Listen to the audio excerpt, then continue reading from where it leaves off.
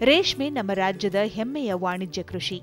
ಕಡಿಮೆ ಅವಧಿಯಲ್ಲಿ ಹೆಚ್ಚಿನ ಆದಾಯ ನೀಡಬಲ್ಲ ರೇಷ್ಮೆ ಕೃಷಿಯತ್ತ ರೈತರು ಹೆಚ್ಚು ಒಲವು ತೋರುತ್ತಿದ್ದಾರೆ. ಆದರೆ ಬೇಸಿಗೆಯಲ್ಲಿ ರೇಷ್ಮೆಯ ಏಕಮಾತ್ರ ಆಹಾರವಾದ ಹಿಪ್ಪುನೆರಳೆ ಸೊಪ್ಪಿನಲ್ಲಿ ತೇವಾಂಶ ಕಡಿಮೆಯಾಗುವುದು ಮತ್ತು ಹಾಲು ತೊಂಡೆ ರೋಗ ಹಾಗೂ ಸಪ್ಪೆ ರೋಗಗಳು ಕಂಡುಬರುವುದರಿಂದ ರೇಷ್ಮೆ ಇಳುವರಿ ಕುಂಠಿತಗೊಳ್ಳುತ್ತದೆ. ಸೊಪ್ಪಿನಲ್ಲಿ ಮತ್ತು ಹುಳು ಸಾಕಣೆ ಮನೆಯಲ್ಲಿ ತೇವಾಂಶ ಕಾಪಾಡಿಕೊಳ್ಳುವುದು ಇದಕ್ಕೆ ಪರಿಹಾರ. ತೋಟಕ್ಕೆ ಸೂಕ್ತ ರೀತಿಯಲ್ಲಿ ನೀರು ಪೂರೈಸಿ ಶಿಫಾರಿತ ಪೋಷಕಾಂಶಗಳನ್ನು ನೀಡಿ ಸೊಪ್ಪಿನ ತೇವಾಂಶವನ್ನು ಕಾಪಾಡಿಕೊಳ್ಳಬಹುದು. ಇದರ ಜೊತೆಗೆ ಹುಳು ಸಾಕಣೆ ಮನೆಯಲ್ಲಿ ಡಿಜಿಟಲ್ ತೇವಾಂಶ ಮಾಪಕವನ್ನು ಅಳವಡಿಸಿಕೊಳ್ಳುವುದು ಉತ್ತಮ.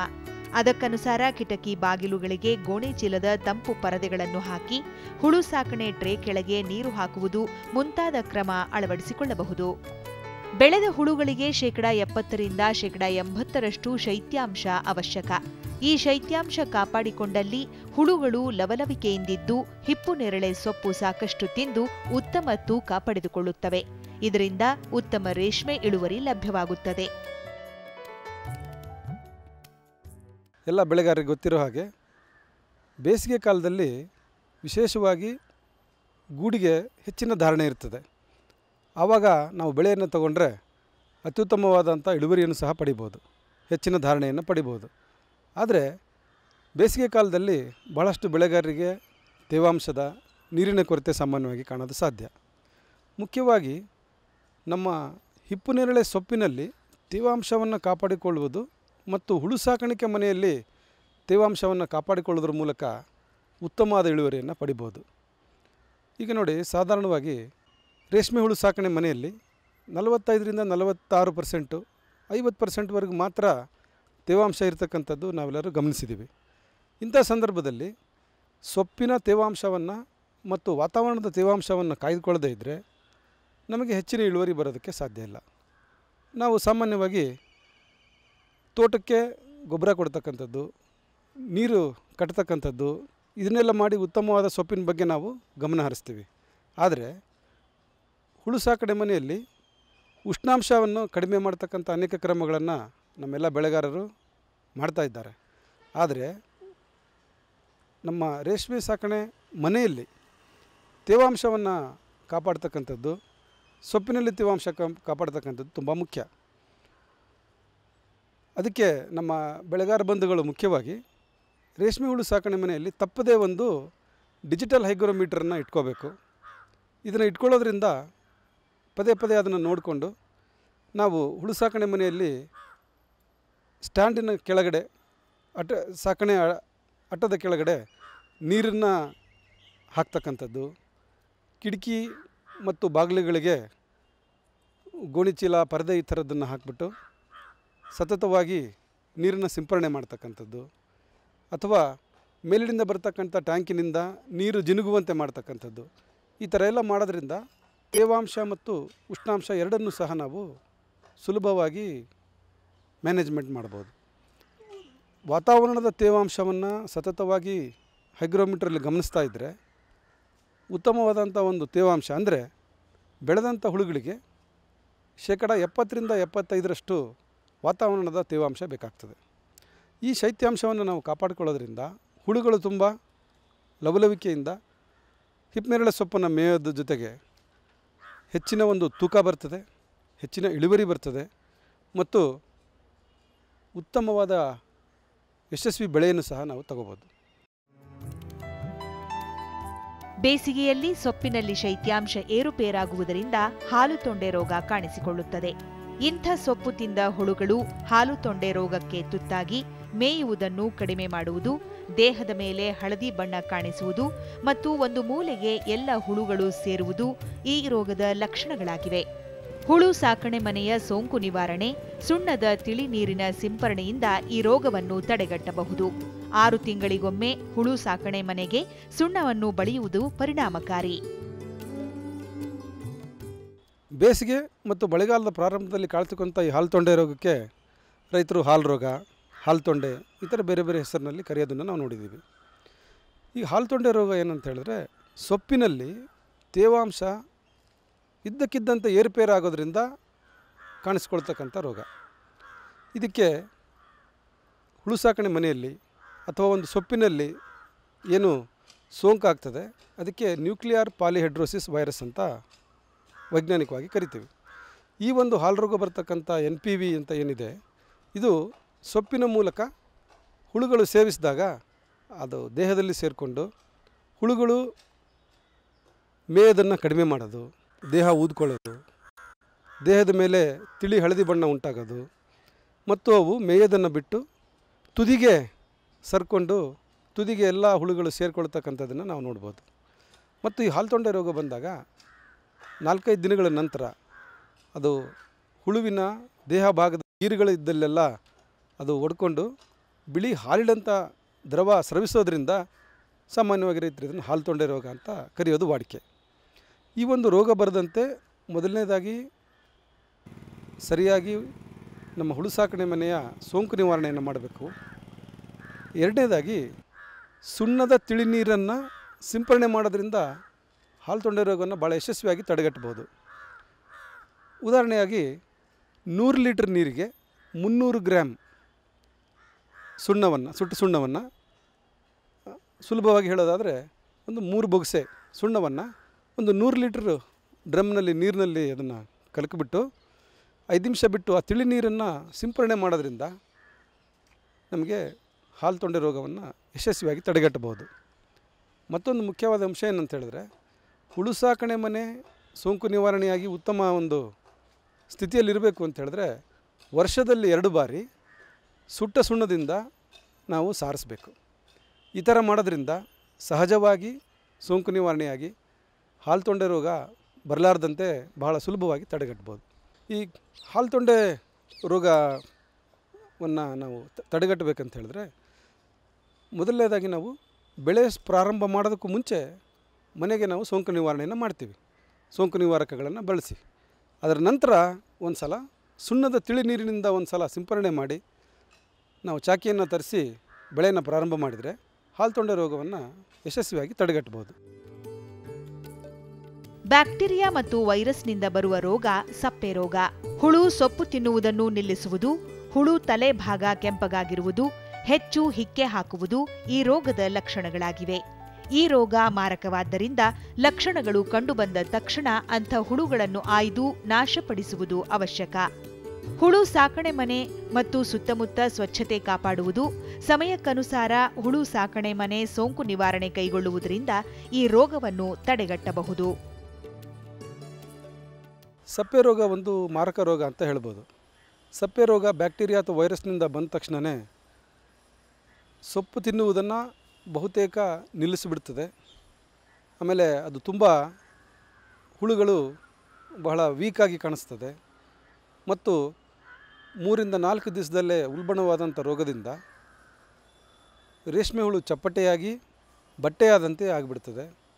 ಮತ್ತು ಈ ರೋಗದಿಂದ ಉಲ್ಬಣ ಆದಾಗ ದೇಹದಲ್ಲಿ ಪ್ರವೇಶ ಮಾಡಿದಂತಹ ರೋಗಾಣುಗಳು ವೈರಸ್ಗಳು ಅಥವಾ ಬ್ಯಾಕ್ಟೀರಿಯಾಗಳು ವಿವಿಧ ಜೀವಕೋಶಗಳಲ್ಲಿ ಸೇರಿ ಹೆಚ್ಚಾದಂಥ ಸಂದರ್ಭದಲ್ಲಿ ಅವು ಹಿಕ್ಕೆ ಹಾಕ್ತಕ್ಕಂಥದ್ದು, ಸರದ ರೂಪದಲ್ಲಿ ಒದ್ದೆಯಾದಂಥ ಹಿಕ್ಕೆ ಮತ್ತು ಸರದ ಸರದ ಹಿಕ್ಕೆ ಅಂತ ಕೂಡ ನಮ್ಮ ರೈತರಿಂದ ಕರೀತಾರೆ. ಮತ್ತು ಕೆಲವು ಬಾರಿ ಅದರ ತಲೆಭಾಗ ಸ್ವಲ್ಪ ಕೆಂಪಾಗಿ ಕಾಣೋದ್ರಿಂದ ಕೆಂಪು ನಚ್ಚು ಅಂತ ಇನ್ನೊಂದು ಹೆಸರಿಂದ ಕೂಡ ಕರೀತಾರೆ. ಇದು ಸಾಧಾರಣವಾಗಿ ವೈರಸ್ ಮತ್ತು ಬ್ಯಾಕ್ಟೀರಿಯಾ ಪ್ರತ್ಯೇಕವಾಗಿ ಅಥವಾ ಎರಡು ಸೇರಿ ಸಪ್ಪೆ ರೋಗ ಬರ್ತಕ್ಕಂಥ ಅನೇಕ ಸಂದರ್ಭಗಳಿರ್ತದೆ. ಈ ರೋಗವನ್ನು ತಡೆಗಟ್ಟಬೇಕು ಅಂತ ಹೇಳಿದ್ರೆ ಸ್ವಚ್ಛತೆಯನ್ನು ಮುಖ್ಯವಾಗಿ ಕಾಪಾಡಬೇಕಾಗ್ತದೆ. ಯಾಕೆ ಅಂತ ಹೇಳಿದ್ರೆ ಕಣ್ಣಿಗೆ ಕಾಣಿಸಿದಂತಹ ರೋಗಾಣುಗಳು ವರ್ಷಗಟ್ಟಲೆ ನಮ್ಮ ಹುಳು ಸಾಕಣೆ ಮನೆ, ಸುತ್ತಮುತ್ತ ತೋಟದಲ್ಲಿ, ಗೊಬ್ಬರದಲ್ಲಿ ಉಳ್ಕೊಂಡು ಸರಿಯಾದ ವಾತಾವರಣ ಸಿಕ್ಕ ತಕ್ಷಣ ಮತ್ತೆ ಅವು ಹೆಚ್ಚಾಗಿ ರೋಗವನ್ನು ಹರಡ್ತಕ್ಕಂಥ ಕಾ ಸಂದರ್ಭಗಳು ಭಾಳ ಇರ್ತದೆ. ಆದ್ದರಿಂದ ಬ್ಲೀಚಿಂಗ್ ಪೌಡ್ರ್, ಮೂರು ಶೇಕಡ ಬ್ಲೀಚಿಂಗ್ ಪೌಡ್ರನ್ನು ಬಳಸಿ ಸ್ವಚ್ಛತೆಯನ್ನು ಮಾಡ, ಸೋಂಕು ನಿವಾರಣೆಯನ್ನು ಮಾಡ್ತಕ್ಕಂಥದ್ದು, ಮತ್ತು ಸ್ವಚ್ಛತೆಯನ್ನು ಕಾಪಾಡ್ತಕ್ಕಂಥದ್ದು, ಹುಳು ಸಾಕಣೆ ಮನೆ ಸುತ್ತ ಹತ್ತೊಂಬತ್ತು ಭಾಗ ಸುಣ್ಣ ಮತ್ತು ಒಂದು ಭಾಗ ಬ್ಲೀಚಿಂಗ್ ಪೌಡ್ರನ್ನು ಬೆರೆಸಿ ತೆಳ್ಳಿಗೆ ಸಿ, ಸಿಂಪಡಿಸ್ತಕ್ಕಂಥದ್ದು. ಮತ್ತು ನಮ್ಮ ಎಲ್ಲ ಬೆಳೆಗಾರರು ಹುಳು ಸಾಕಣೆ ಮನೆ ಒಳಗಡೆ ಬರಬೇಕಾದಾಗ ಹೊಸ್ತಿಲಲ್ಲಿ ಹಾಕಿರ್ತಕ್ಕಂತಹ ಬ್ಲೀಚಿಂಗ್ ಪೌಡ್ರ್ ದ್ರಾವಣವನ್ನು ಕಾಲು ಒರೆಸ್ಕೊಂಡು ಬರ್ತಕ್ಕಂಥದ್ದು. ಮುಖ್ಯವಾಗಿ ಹಾಲು ಆಗಲಿ, ನಮ್ಮ ಸಪ್ಪೆ ರೋಗ ಸ್ವಲ್ಪ ಕಾಣಿಸಿಕೊಂಡ ತಕ್ಷಣ ಆ ಹುಳುಗಳನ್ನು ಆರಿಸಿ ಯಾವುದಾದ್ರೂ ಒಂದು ಸೋಂಕು ನಿವಾರಣಾ ದ್ರಾವಣದಲ್ಲಿ ಹಾಕಿಬಿಟ್ಟು ಅದನ್ನು ಸರಿಯಾಗಿ ಸುಡ್ತಕ್ಕಂಥದ್ದು ಅಥವಾ ಆಳವಾಗಿ ಹೂಳ್ತಕ್ಕಂಥದ್ದು ಇದು ಅತಿ ಮುಖ್ಯ. ಯಾಕೆ ಅಂತ ಹೇಳಿದ್ರೆ ದೊಡ್ಡ ಬೆಳೆದಂಥ ಹುಳುಗಳು ಇರ್ತಕ್ಕಂಥ ಒಂದು ಬೆಳೆಯನ್ನು ನೋಡಿ ಬಂದು, ಇನ್ನು ಚಾಕಿ ಈಗ ತಾನೇ ಬಂದಿರತಕ್ಕಂಥ ಹುಳದಲ್ಲಿ ಹುಳು ಸಾಕಣೆ ಮನೆಯಲ್ಲಿ ಓಡಾಡೋದು, ಸೊಪ್ಪಾಕೋದು ಮಾಡೋದ್ರಿಂದ ಸೋಂಕು ಬಹಳ ಸುಲಭವಾಗಿ ಹರಡ್ತದೆ. ಹಿಪ್ಪು ನೇರಳೆ ತೋಟಕ್ಕೆ ಹೆಚ್ಚಿನ ಪ್ರಮಾಣದಲ್ಲಿ ಕೊಟ್ಟಿಗೆ ಗೊಬ್ಬರ ಮತ್ತು ನೀರು ಪೂರೈಸುವುದು, ಸಗಣಿ ಮತ್ತು ಕೃಷಿ ತ್ಯಾಜ್ಯಗಳನ್ನು ಬಳಸಿ ಟ್ರೆಂಚಿಂಗ್ ಮಲ್ಚಿಂಗ್ ಮಾಡುವ ಮೂಲಕ ಸೊಪ್ಪಿನ ತೇವಾಂಶ ಕಾಪಾಡಿಕೊಂಡು, ಜೊತೆಗೆ ಹುಳು ಸಾಕಣೆ ಮನೆ ಸ್ವಚ್ಛತೆ ಮತ್ತು ತೇವಾಂಶ ಕಾಪಾಡಿಕೊಂಡಲ್ಲಿ ಗುಣಮಟ್ಟದ ರೇಷ್ಮೆಯ ಅಧಿಕ ಇಳುವರಿ ಪಡೆಯಬಹುದು. ತೇವಾಂಶವನ್ನು ಸೊಪ್ಪಿನಲ್ಲಿ ಕಾಪಾಡೋದು, ಹುಳು ಸಾಕಣೆ ಮನೆಯಲ್ಲಿ ಕಾಪಾಡೋದು ಮತ್ತು ರೋಗ ಬರದಂತೆ ಉತ್ತಮವಾದ ಸೋಂಕು ನಿವಾರಣೆ ಮಾಡೋದ್ರಿಂದ ಬೇಸಿಗೆಯಲ್ಲಿ ಒಳ್ಳೆಯ ಬೆಳೆಯನ್ನು ತಗೋಬೋದು.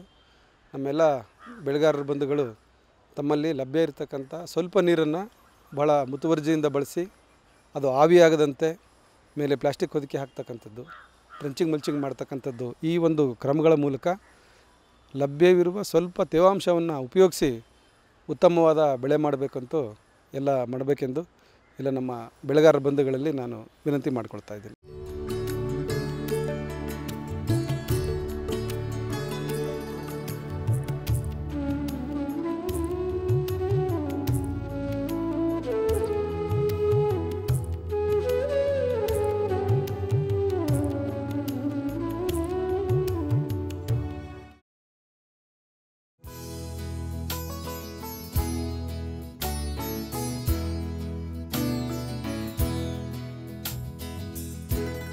ಸಾರ್ವಜನಿಕರಲ್ಲಿ ಸಾವಯವ ಉತ್ಪನ್ನಗಳು ಹಾಗೂ ಸಿರಿಧಾನ್ಯಗಳ ಬಗ್ಗೆ ಅರಿವು ಮೂಡಿಸಿ ಸಮರ್ಪಕ ಮಾರುಕಟ್ಟೆ ಕಲ್ಪಿಸಿಕೊಡುವ ದೃಷ್ಟಿಯಿಂದ ರಾಜ್ಯದ ಕೃಷಿ ಇಲಾಖೆ ರಾಷ್ಟ್ರಮಟ್ಟದ ಸಾವಯವ ಮತ್ತು ಸಿರಿಧಾನ್ಯಗಳ ವಾಣಿಜ್ಯ ಮೇಳವನ್ನು ಏಪ್ರಿಲ್ ಇಪ್ಪತ್ತೆಂಟರಿಂದ ಮೂವತ್ತರವರೆಗೆ ಬೆಂಗಳೂರಿನಲ್ಲಿ ನಡೆಸಲಿದೆ. ಈ ಮೇಳದ ಅನಾವರಣ ಕಾರ್ಯಕ್ರಮ ನಿನ್ನೆ ಆಯೋಜಿಸಲಾಗಿತ್ತು. ಈ ರೈತರ ಈಗ ವಿಶೇಷವಾಗಿ ಅದಕ್ಕೇನು ನಾವು ಬಂಡವಾಳ ತೊಡಗಿಸ್ತೀವಿ ಇಂಟೆನ್ಸಿವ್ ಅಗ್ರಿಕಲ್ಚರ್ಗೆ ಈ ಆರ್ಗ್ಯಾನಿಕ್ ಅಗ್ರಿಕಲ್ಚರ್ ಅಲ್ಲಿ ಇದು ನೈಸರ್ಗಿಕವಾದ ಕೃಷಿ ಮತ್ತೆ ವಿಶೇಷವಾದ ಒಂದು ಸಂಶೋಧನೆಗಳ ತಳಹದಿಯ ಮೇಲೆ ಇದು ಏನು ಒಳಗೊಂಡಿರೋದ್ರಿಂದ ಈ ಡೆಟ್ ಫ್ರೀ ಲೈವ್ಲಿಹುಡ್ ಸಾಧ್ಯತೆಗೆ ಇದರಿಂದ ಒಂದು ಉತ್ತಮವಾದ ಅವಕಾಶ ಆಗ್ತದೆ. ಈ ಆರ್ಗ್ಯಾನಿಕ್ ಅಗ್ರಿಕಲ್ಚರ್ಗೆ ವಿಶೇಷವಾದ ಒಂದು ಮಹತ್ವ ಇದೆ. ಆರ್ಗ್ಯಾನಿಕ್ ಅಗ್ರಿಕಲ್ಚರ್ ಅದರ ಒಂದು ಘಟಕಗಳು ಏನಿರಬಹುದು ಅಂತೇಳಿ ತಾವಿಲ್ಲಿ ಸ್ಥೂಲವಾಗಿ ನೋಡಬಹುದು ಒಂದು ಗ್ರೀನ್ ಮ್ಯಾನ್ಯೂರ್ ಇರ್ಬೋದು crop rotation practices biological management practices biofertilisers then our own manuring practices then vermicompost none of these things ಯಾವುದು ಹೊಸ ವಿಚಾರಗಳಲ್ಲ. ಈ ವಿಷಯಗಳನ್ನ ನಾವು ಪುನಃ ಒಂದು ಅಳವಡಿಕೆ ಮಾಡಿಕೊಳ್ತಕ್ಕಂಥ ಒಂದು ಅಗತ್ಯತೆ ಇವತ್ತಿನ ಒಂದು ಪರಿಸ್ಥಿತಿಯಲ್ಲಿ ನಮಗೆ ಬಹಳವಾದ ಒಂದು ತೀವ್ರವಾದ ಅಗತ್ಯತೆ ಇದೆ. ರಾಜ್ಯದ ಕೃಷಿ ಸಚಿವರಾದ ಶ್ರೀ ಕೃಷ್ಣ ಬೈರೇಗೌಡ ಅವರು ಈ ಅನಾವರಣ ಕಾರ್ಯಕ್ರಮವನ್ನು ಉದ್ಘಾಟಿಸಿದರು.